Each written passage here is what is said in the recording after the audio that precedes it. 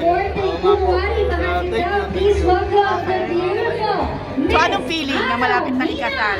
Siyempre, excited, pero nandun din yung uh, konting tension uh, sobrang nakakapagod din pala yung mga preparation. Pero worth it naman yung pagod uh, talagang natutuwa kami kasi.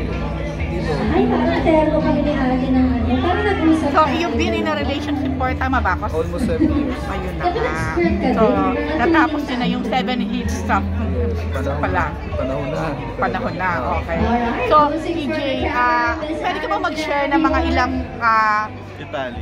detalye ng wedding? Let's say, kung sino yung mga sponsors na napili nyo. Ah, may mga sponsors na mula sa galing sa mga kasama ko, mga ah, public servant.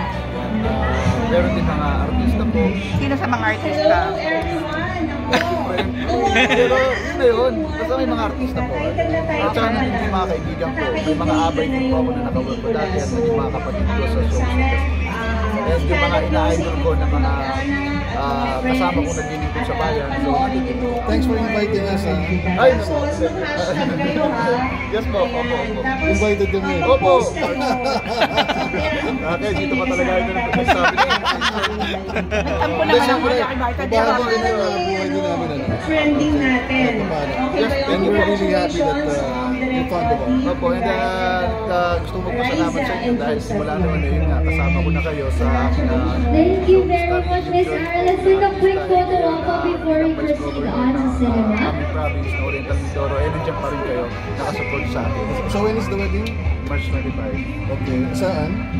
Uh, Taguig. Ah, sa Manila, hindi dun sa... Bakit, bakit dito mo napili? Instead na yung, alam mo, yung... uh, And now, are you guys ready to meet the Mahirap na cast? ba? Mahirap pumunta ng Mindoro. Parang nahina pa yung energy. Ready na ba talaga kayo?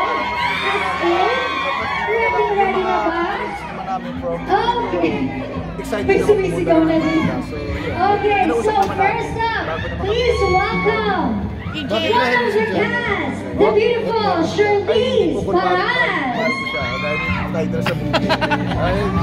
Bakit kasi nagbubulag ah, yan? Ang may talak ka naghahanap sa ko sa isang sigawan. babae. Ayun.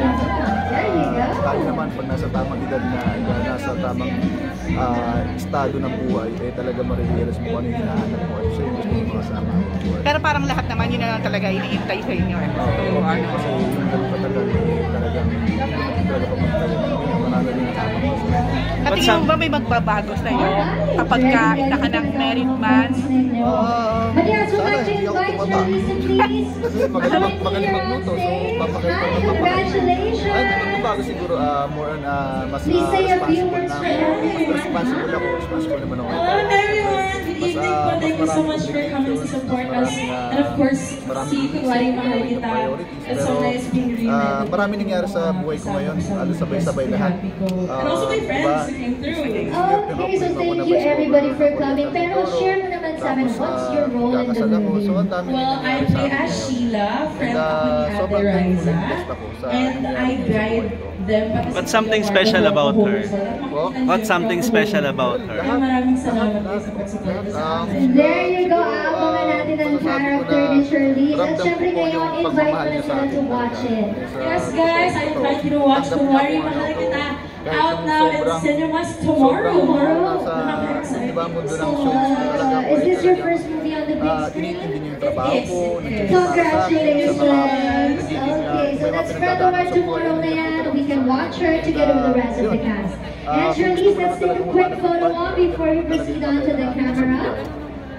Okay. Ano, ah, EJ, ah, I think you, you, you're here because of Joseph Marco. Ano, again. kasama din ba siya dun sa mga groomsmen? Okay. Kasi may nireveal kang isa. sa groomsmen mo, okay.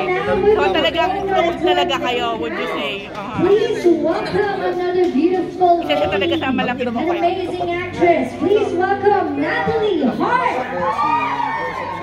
Mga yan, mga kapatid ko sa industry. Si Alfie, Gorgeous in blue. parang kapatid ko na rin yung tinuturing. Kaya talagang hindi sila. Okay. Oh, siya si Thank you, AJ. AJ. And congrats! Salamat po, thank you po.